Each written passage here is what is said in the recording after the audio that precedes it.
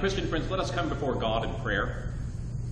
Gracious God, once again, we come before your sacred word, utterly dependent upon the grace of your Holy Spirit to become your interpreter. Speak to us your sacred word beyond the sacred page that it might well up in us to be the very heart and mind of Jesus Christ, who humbled himself in love to wash the feet of the disciples, and who calls us to love as he has loved. Empower us by your word spoken to us this day, that we may go forth into the world as the embodiment of your love, so that all might know the living presence of Jesus Christ in us. May we, as the heart and mind of Christ, be the compassion, the servant oriented love for one another as he was for us and is for us this day by your Spirit. This we pray in Christ's most holy name. Amen. Our scripture lection for this morning comes from the Gospel according to St. John, chapter 13, verses 31 through 35. In this passage, it, uh, it lands right in the middle of Jesus' uh, supper with his disciples, the very last supper he will eat with his disciples. In the opening of chapter 13, Jesus does not institute the Lord's Supper as we see what we traditionally that that uh, that covenant, that that commandment, that that uh, uh, sacrament that we recognize as the Lord's Supper. He doesn't institute that here in John's Gospel as he does in Matthew, Mark, and Luke. No, instead he uh, he institutes some new kind of covenant, if you will, in the washing of the disciples' feet. He goes about washing the disciples' feet. All of them, even Judas, as well as Peter, he washes their feet as a sign of servant oriented love, the kind of love that God has for this sinful and broken world. Jesus washes the feet of the disciples as an act of love and then is going to require the disciples to love in the same way that he does. In so doing, he is establishing a new kind of covenant with us, similar to the covenant of the Last Supper, which he establishes in Matthew, Mark, and Luke. But here, we're going to see that Jesus recognizes that he is going to be glorified by the one who would betray him. In fact, he uses that word glorify five times in this passage. And uh, the, the, the, Greek word doxazo uh, is, uh, uh, we translate it as glorify, but it also means to lift up. And so it's, a, it's an interesting play on words that, that Judas, who goes to hand him over, is handing him over for glorification handing him over. For Jesus, that glorification is his being lifted up. Lifted up for execution on the cross, lifted up from the grave in the resurrection, lifted up from the earth in his ascension. Jesus is glorified by the act of Judas's betrayal, which is where this story picks up, is where Judas leaves the room to go and hand Jesus over. Listen for the word of God. When he had gone out, when Judas had gone out, Jesus said, Now the Son of Man has been glorified, and God has been glorified in him. If God has been glorified in him, God will also glorify him in himself, and will glorify him at once. Little children, I am with you only a little longer.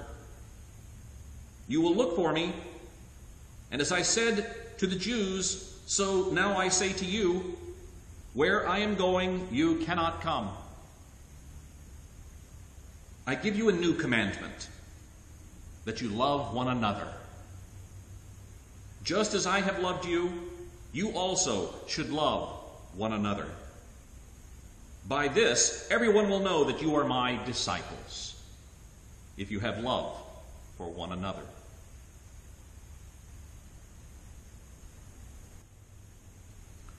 Amen. And may God give us to understand this reading of His holy word. This is the word of the Lord. An amazing passage, my Christian friends. How odd Jesus is having this meal with his disciples, but this being the Last Supper, he does not here in John's Gospel institute the sacrament of the Lord's Supper. He, in, he institutes something that becomes a kind of new sacrament, if you will, a commandment to love one another. When we read this, we need to remember that John, who is writing this gospel, is inviting his initial readers to look at this commandment to love one another with fresh eyes.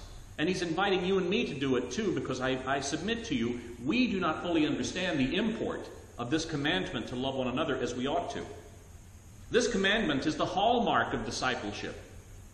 Jesus is telling us that this is what it means to show the world that we are disciples.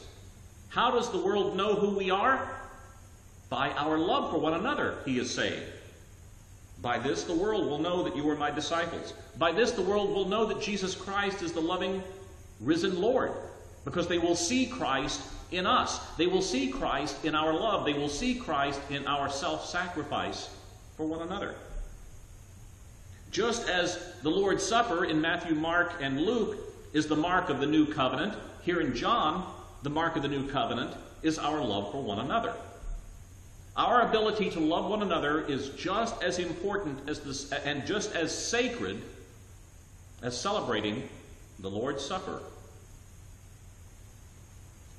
But the radical nature of this commandment to love one another is often missed, I, I submit to you. I think we dismiss it outright because we think it's too easy, my Christian friends. We shouldn't. We dismiss it. We dismiss this ethical demand focusing on love among members because we think it is just uh, too, too pedestrian, too easy to do. Of course, if we join the community of faith, of course, if we're disciples of Jesus Christ, we expect that we are family, we're brothers and sisters in Christ. We expect that we're going to love one another, right? Jesus doesn't need to bother commanding us to love to love one another because we already do, right? We dismiss the easiness of it and we soften the ethical demand of it because we think that the, the love of people outside the church is much harder. Jesus commands us to love our neighbors. Well, those neighbors may or may not be Christian. That kind of love might be a little bit harder. Even harder than that, we think, is to love our enemies. He tells us to love our enemies. But loving within the church, an internal love, loving the community, loving our fellow disciples, loving one another, seems easier compared to loving our neighbors or loving our enemies. That's how we think. That this commandment is directed internally does not make it easier, I submit to you, my Christian friends. It's not easier to keep. It is no easy task for Christians to love one another. Take a look at Judas. Take a look at Peter. Look at that spectrum of disciples right within that same area of dinner. Who's doing the act of love? How do we love Judas? And I would submit to you, how would we even love Peter? Because I'm, I'm going to show you, Peter in some ways is not too much better than Judas. Because Peter himself doesn't understand what Jesus means when he commands to love one another. I mean, think about it. When Jesus is exemplifying what that love is by going about washing the disciples' feet, Peter protests.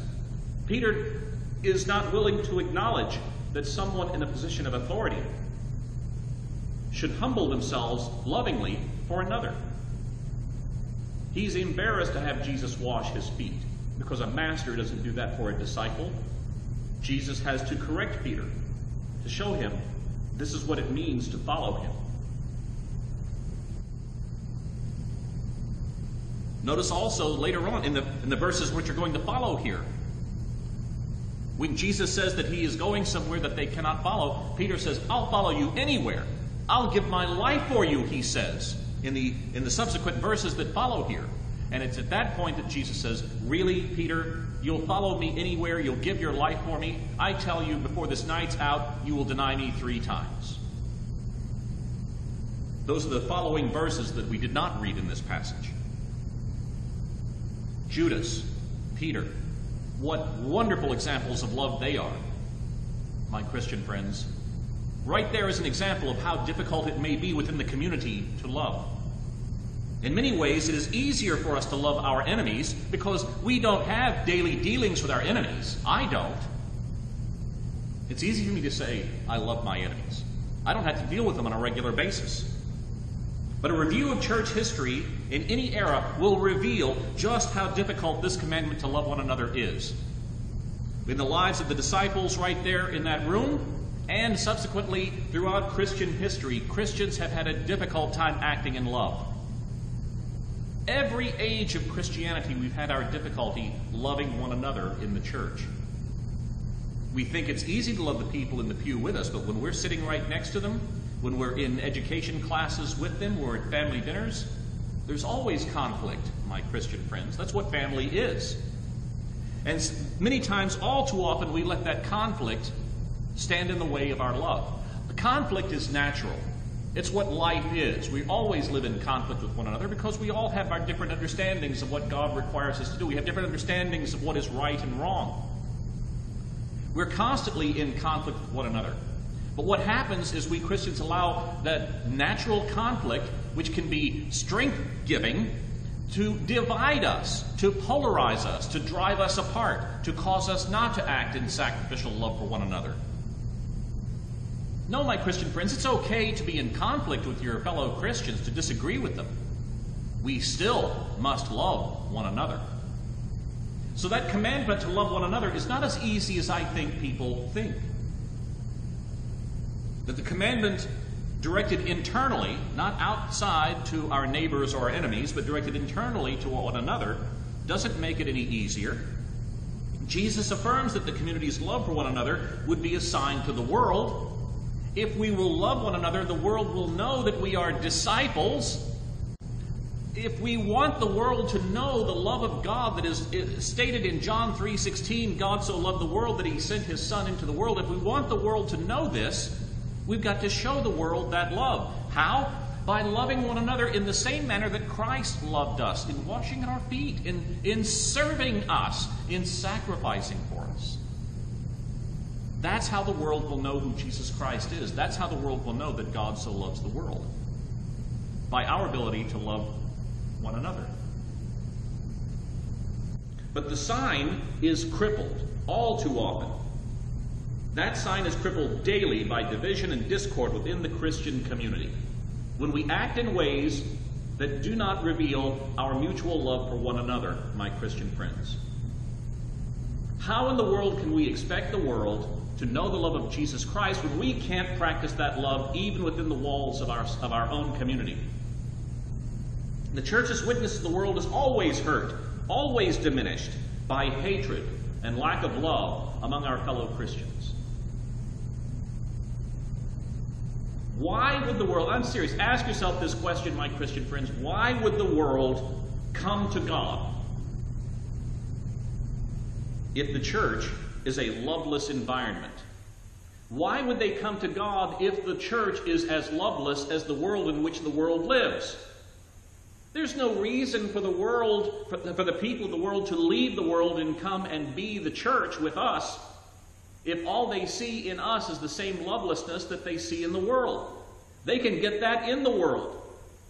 Why would they want to come and be a part of us if we cannot love one another as Christ so loves us, as Christ commands us? What is also interesting in this, my Christian friends, is that Jesus says that this is a new commandment. That's interesting. In verse 34, he says, I give you a new commandment, that you love one another. And I, I ponder this a new commandment. Wait a minute. What is new about love? He's been telling us all along that we are to love our enemies. He's been telling us all along that we are to love our neighbors as ourselves, that we are to love God with all of our being. What's new about love? In fact, uh, Jesus, when he tells us to love our neighbors, when he tells us to love God, all he's doing is quoting Deuteronomy chapter 6, verse 5, or Leviticus chapter 19, verse 18. The, the commandment to love is as old as the Old Testament. What's new about love? The newness doesn't reside in the love, my Christian friends. The newness resides in making a new covenant, a new relationship, a new agreement that this is who we are going to be in Jesus Christ, that the world will know that Christ is alive in us, that the love that God has for this world continues through us. That's what's new. Of course, we're supposed to love our neighbors. Of course, we're supposed to love God. What we're really supposed to do that's new is to make that love known in sacrificing for the world and for one another, just as Christ has done for us. Just as God, who did not love from a distance, loved this world so much that he entered this world, that he punched a hole into this world, that the Creator joined with his creation in order to make his love known. God becomes a servant for us because God so loves this world. Christ becomes a servant for us because that's what love does.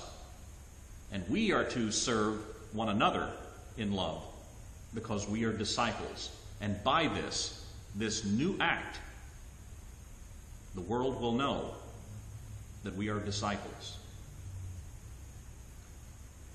To love one another is an integral part of making Christ's love known. Just as, just as sacred as the Lord's Supper is to us, so loving one another should be just as sacred, just as sacramental, just as holy. Like the Lord's Supper, to make one to make uh, to love one another is our fresh signature in the in, in the covenant. My Christian friends, that's what's new. We are empowered by God in our acts our sacred acts, our holy acts, our covenantal acts of loving one another, that the world will know that Christ lives, that Christ loves.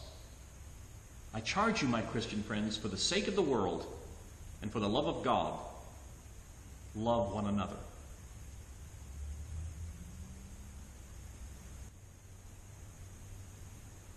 Amen, and may God bless this witness to the glory of his name.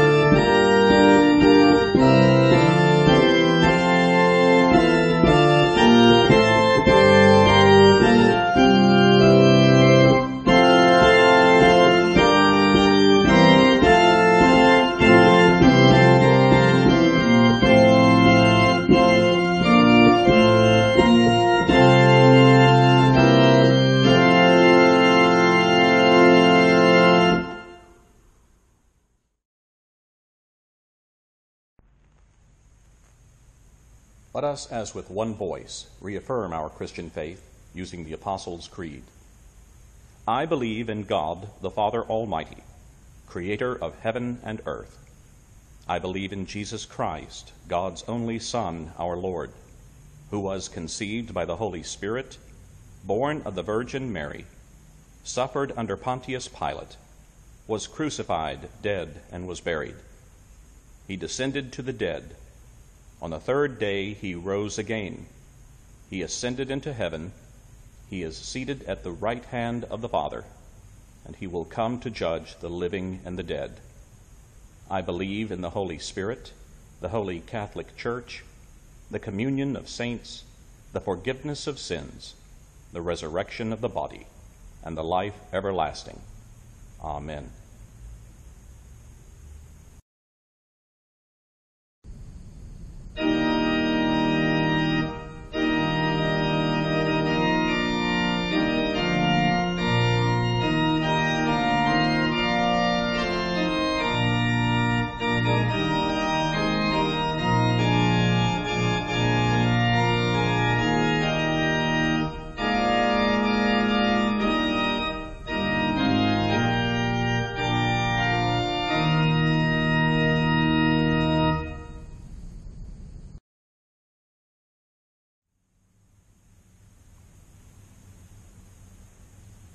My Christian friends, let us come before God in prayer. Gracious God, we give you thanks for the meal that you celebrated with your disciples and for the newness of that covenant which comes not only in the breaking of bread and the sharing of a cup, but in the new commandment to love one another.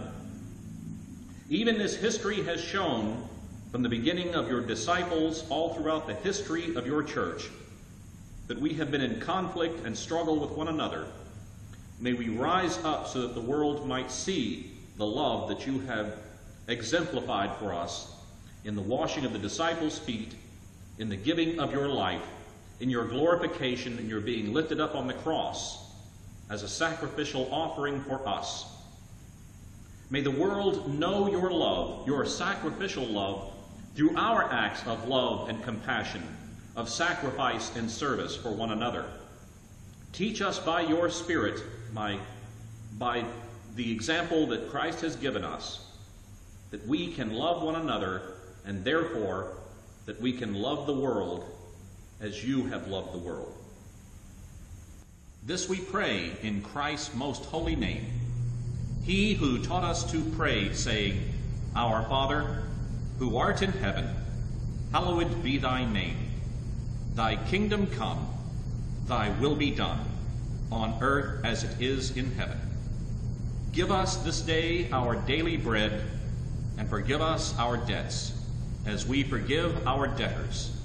And lead us not into temptation, but deliver us from evil. For thine is the kingdom, and the power, and the glory forever. Amen.